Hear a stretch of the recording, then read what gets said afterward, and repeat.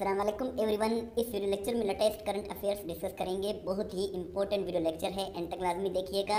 अगर हम first question की बात करें तो फ़र्स्ट क्वेश्चन कुछ इस तरह से है। Naila Khiani is the dash Pakistani women to scale Mount Everest so मई 2013 में समीना बेग पाकिस्तान की फ़र्स्ट वुमेन थी, जिसने माउंट एवरेस्ट को सर कर लिया था। समीना बेग के बाद 10 सालों के बाद यानी कि मई 2013 के बाद मई 2023 में नायला कयानी दूसरी पाकिस्तानी बन गई हैं सेकंड वीमेन पाकिस्तानी बन गई हैं जिन्होंने माउंट एवरेस्ट को सर कर दिया है। सो so, सेकंड इसका करेक्ट आंसर है समीना बेग फ़र्स्ट पाकिस्तानी विमेन थी। माउंट एवरेस्ट की बात करें तो ये वर्ल्ड का हाईएस्ट माउंटेन पीक है जो कि नेपाल में लोकेटेड है और नायला क्यानी इसको सर करने वाली दूसरी पाकिस्तानी खातून बन गई है। Pakistan became largest recipient of Asian Development Bank loans in the year 2022 by receiving 5.58 billion US dollars. So Asian Development Bank में 68 मेंबर्स हैं और 68 मेंबर्स में सबसे ज़्यादा साल 2022 में पाकिस्तान ने लोन यानी कि कर्जे लिए हैं और ये रिपोर्ट अप्रैल 2023 में पब्लिश की गई थी और इसमें बताया गया कि पाकिस्तान ने सबसे ज़्यादा Asian development Asian development bank से लोन्स लिए हैं। एडीबी की बात करें तो इसे 19 दिसंबर उन्नीस सौ छियासठ को बनाया गया था। इसके करंटली 68 मेंबर्स हैं और एशिया की तरफ़ से इसके 49 मेंबर कंट्रीज़ हैं और 19 जो मेंबर्स हैं आउटसाइड एशिया हैं टोटल इसके 68 मेंबर कंट्रीज़ हैं मनीला फिलीपींस में इसका हेडक्वार्टर है। Babar Azam became fastest batsman to score 5000 ODI by making how many innings so इसका करेक्ट आंसर 97 है। 97 इनिंग्स बनाकर बाबर आज़म 500 ओडीआई स्कोर करने वाले फास्टेस्ट बैट्समैन बन गए हैं। मई 2023 में so ninety who has topped Forbes list of highest paid athletes in 2022 so recently एक लिस्ट पब्लिश की गई है और उस रैंकिंग के मुताबिक सबसे ज़्यादा जब मुआवजा लेने वाला जो खिलाड़ी है हाईएस्ट पेड जो एथलीट है, वो क्रिस्टियानो रोनाल्डो है और ये फुटबॉलर है जो कि पुर्तगाल से बिलोंग करता है। सो यही इसका करेक्ट आंसर है। इंटरनेशनल नर्सिस डे नर्सिस का जो आलमी दिन है, ये 12 मई को मनाया जाता है। 2023 का इसका थीम है आवर नर्सिस आवर फ्यूचर ये 2023 का इसका थीम है। Which is the first US state to ban the use of gas stove in new buildings नई बिल्डिंग नई इमारतों में गैस स्टोव्स को बैन करने वाली अमेरिका की पहली रियासत का नाम न्यूयॉर्क है। न्यूयॉर्क ये रियासत भी है, अमेरिका की सिटी भी है, सबसे बड़ा शहर भी है ये। सो इसने नई बिल्डिंग्स में गैस स्टोव्स पर पाबंदी आयद कर दी है और ये फ़र्स्ट यूएस की स्टेट है। और ये जो है वेल्थीएस्ट जो सिटी है दुनिया में जो सबसे ज़्यादा अमीर लोग हैं, वो भी न्यूयॉर्क में हैं। रिसेंटली एक रिपोर्ट में ये भी बताया गया है। वर्ल्ड रेड क्रॉस डे किस डेट को मनाया जाता है? ये आठ मई को मनाया जाता है, क्योंकि आठ मई को हेनरी डरनाट का जो है, ये पैदा हुए थे। आठ मई 1828 को, और ये जो है international committee of the red cross है, उसके ये फाउंडर थे।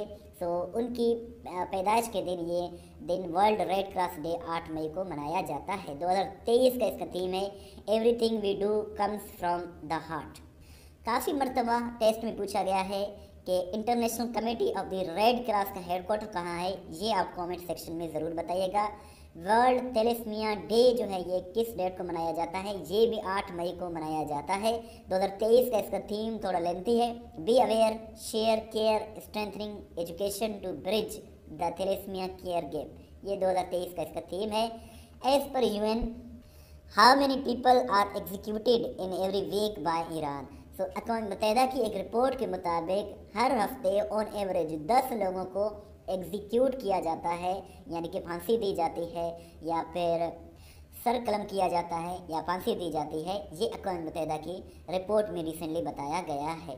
The forty second ASEAN summit hosted by which countries इसको इंडोनेशिया ने होस्ट किया है, ये मई 2023 में हुआ है। आसियान की बात करें तो ASEAN stand for association of south east Asian nations Pakistan is not a member of ASEAN so इसकी रिसेंटली बयालीसवीं समिट हुई है, मई 2023 में इंडोनेशिया में। Who has won Pulitzer prize 2023 in international reporting category international reporting category में New York Times ने Pulitzer prize 2023 जीत लिया है। इनको मिला है ये। सो न्यूयॉर्क टाइम्स इसका करेक्ट आंसर है। Name the Pakistani who has been appointed for prestigious advisory role by US president so Shahid Ahmed Khan को अमेरिकी सदर ने 12 मई 2023 को प्रेस्टिजियस एडवाइजरी रोल के लिए अपॉइंट कर दिया है। शाहिद अहमद खान इसका करेक्ट आंसर है। Who has been named ICC women player of the month April 2023 तो इसका करेक्ट आंसर नरोमोल चायवाई है। नरोमोल चायवाई जो है, ये थाईलैंड की क्रिकेटर हैं और ये जो है ICC player of the month female category में इनको मिला है award ICC player of the month का जो अवार्ड है, ये हर महीने दिया जाता है। अगर अप्रैल की बात करें तो अप्रैल में मेल कैटेगरी में पाकिस्तान के एक क्रिकेटर को फ़खर जमान को दिया गया है और फीमेल कैटेगरी में नौरमोल चाईवाई को दिया गया है। Who has won the 2023 Lord's world sportsman of the year award तो ये लियोनेल मेसी को मिला है और इसकी टीम ने फीफा वर्ल्ड कप 2022 जीता था, जो कि बाईसवां एडिशन था, कतर में हुआ था और ये प्रोफेशनल फुटबॉलर हैं and he belongs to the country Argentina Nicola Sturgeon was the first minister of which country who announced her resignation recently so ये स्कॉटलैंड की फ़र्स्ट मिनिस्टर थी और ये 2014 में बनी थी 2023 में इन्होंने रिज़ाइन कर दिया। Deployed the T U one sixty straight strategic bomber known as black jet तो ये रशिया ने रिसेंटली इसको डिप्लाई कर दिया है और यही इसका करेक्ट आंसर है। King Charles three who are officially crown recently wore which crown so इन्होंने सेंट एडवर्ड्स क्राउन ये पिक्चर में भी आप देख सकते हैं, इसका नाम है सेंट एडवर्ड क्राउन ये 6 मई 2023 को इनको ये ये वाला ताज पहनाया गया है। Which of the following has launched registry to help citizens identify sex offenders? So, sex offenders को, की शनाख्त के लिए नादरा ने रिसेंटली रजिस्ट्री को रजिस्ट्री का आगाज़ कर दिया है, जो कि सिटीजन्स के लिए, जो लॉ इन्फोर्समेंट एजेंसीज़ हैं, उनके लिए ये मददगार साबित होगा और ये जो है सेक्स अफेंडर्स को पहचानने में मदद करेगी who is the current ambassador of Pakistan to Afghanistan Afghanistan में जो करंट एम्बेसडर हैं पाकिस्तान के वो मंसूर खान हैं, ये 2020 से लेकर अभी तक हैं। Director general of international atomic energy agency I A E A Rafael Mariano Grossi इन्होंने पाकिस्तान का कब विज़िट किया? ये 15 से लेकर 16 फरवरी 2023 के दौरान दो रोज़ा इनका जो है ये विज़िट था और ये क्वेश्चन इसीलिए ऐड किया गया है क्योंकि ये पेपर में रिसेंटली क्वेश्चन पूछा गया है। सात मई 2023 को जो पेपर हुआ है, उसमें यही सवाल पूछा गया है। तो इसका करेक्ट आंसर है, पंद्रह से लेकर सोलह फरवरी 2023 के दरमियान ये विज़िट पर आए थे। Which country hosted the Petersberg climate dialogue so ये जर्मनी ने रिसेंटली होस्ट किया है।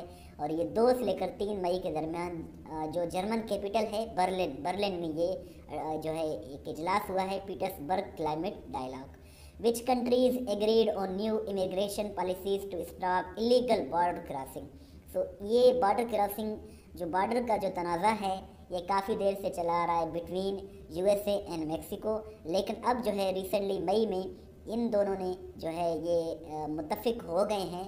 कि अब हम न्यू इमिग्रेशन पॉलिसीज़ को इम्प्लीमेंट करेंगे।